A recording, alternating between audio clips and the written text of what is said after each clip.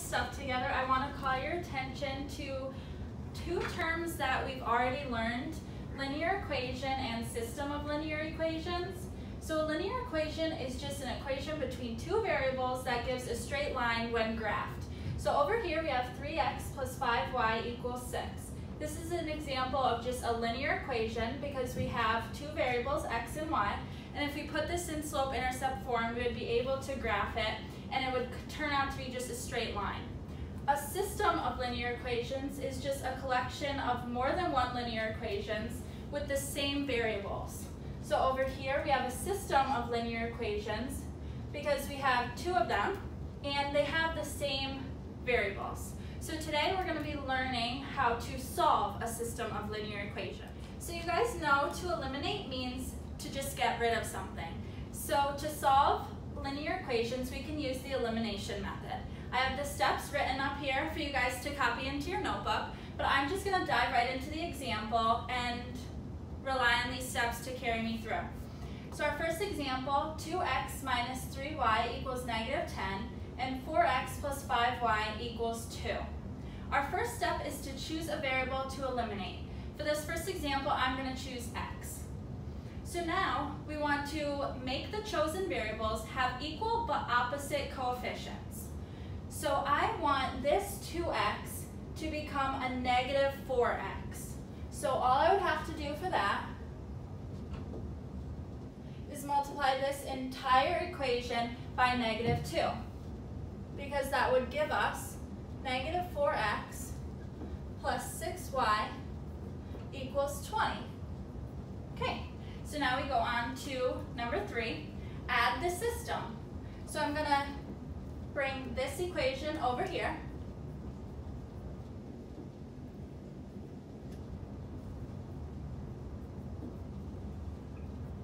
And negative 4x plus 4x gets rid of the x entirely. It says, if done correctly, our chosen variable will be gone. So we did exactly what we wanted to do.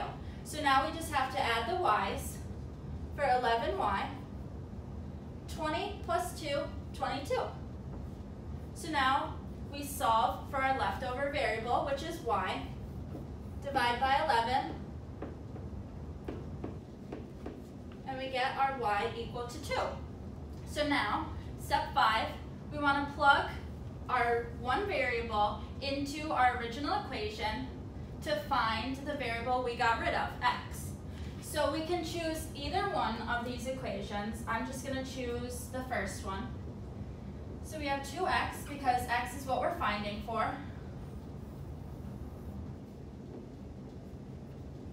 Plug our 2 into y. So now we have 2x minus 6 equals negative 10. We add our 6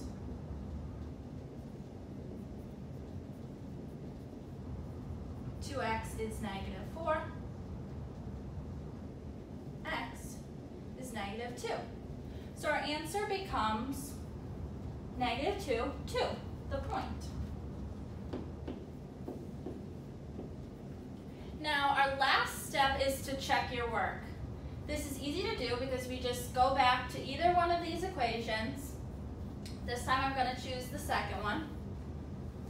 4x we got negative 2. Plus 5y, we got 2, should give us 2. So we have negative 8 plus 10 equals 2. And that's right. So we're right. So I'm going to give you guys an example to work on at your seats independently. I'm going to leave the steps up here for you to reference.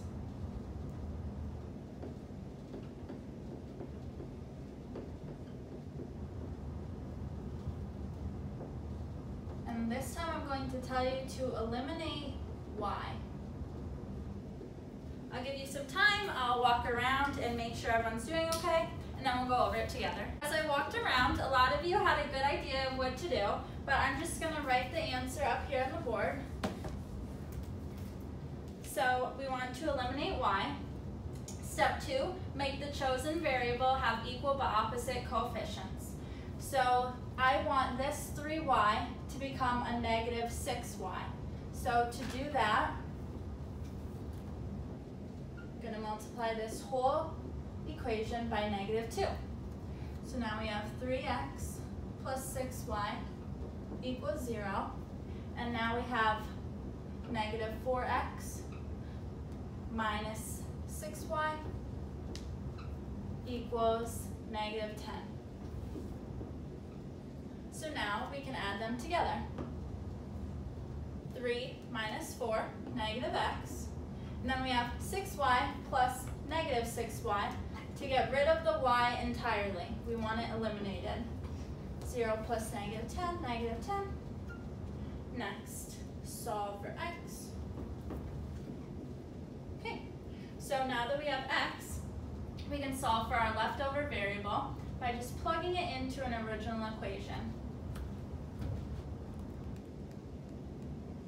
I'm going to choose the first one. 3 times 10 plus 6y equals 0.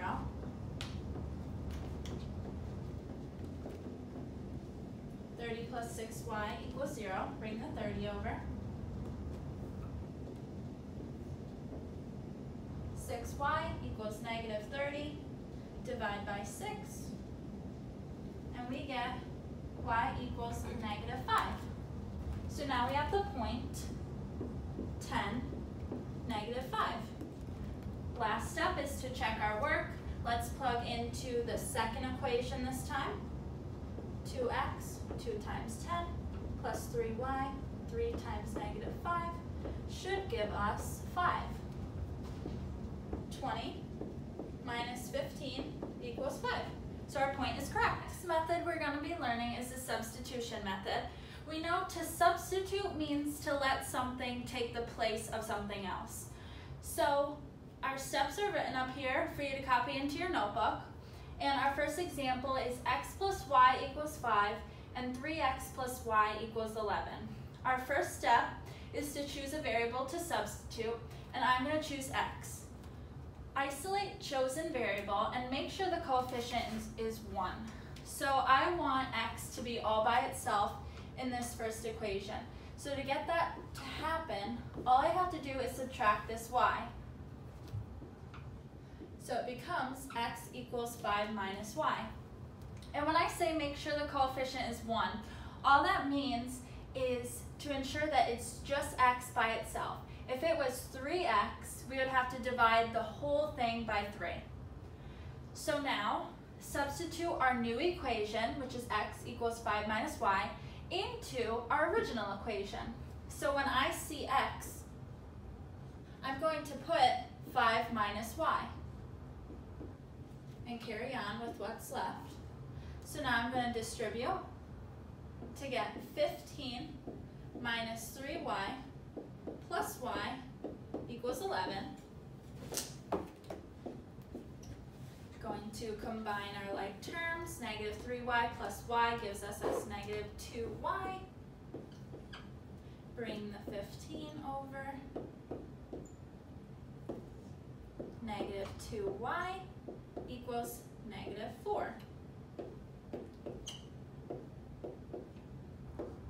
when we solve, we have y equal 2.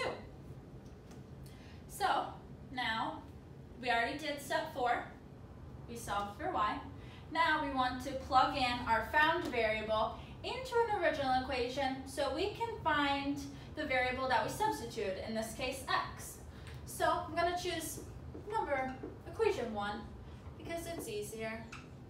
So we have x, we don't know, that's what we're looking for. Our y is 2.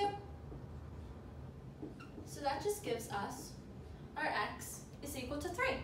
So our point for this one is 3, 2. Now, as always, I put check, but we pretty much already did because x plus y equals 5. Our x as 3, our y as 2 gives us 5. So we got the right answer. Now I want to show you guys what this point that we're finding represents. So to do that, I am going to graph both of these equations. And does anyone know what form our equations need to be in so we can graph them? It's going to be slope intercept form. Which we know is just y equals mx plus b, m slope, y-intercept. So we want this to have y by itself. So to do that, all we did is subtract the x. So we have negative x plus 5, and that looks like this. So for this one, we need y by itself. So to do that, we subtract our negative 3x. So negative 3x plus 11. So now, both of them are in our slope-intercept form. Now let's graph the two equations. I'm going to start with this one. Start with the y-intercept, which is 5, which is just 0, 5. So now we see that our slope is negative 1. So that means we have to go down 1 and over 1. Down 1, over 1, down 1, over 1, down 1, over 1. That's good.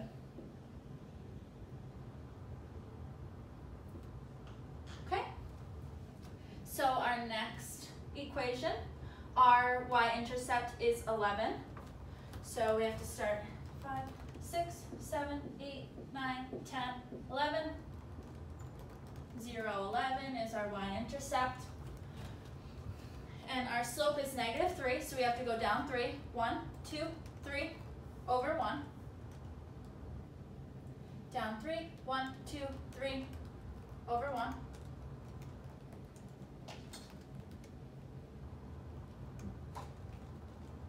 Over 1.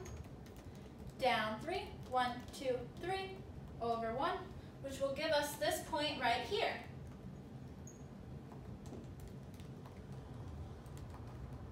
So both of our graphs hit this point. And what is this point? 3, 2.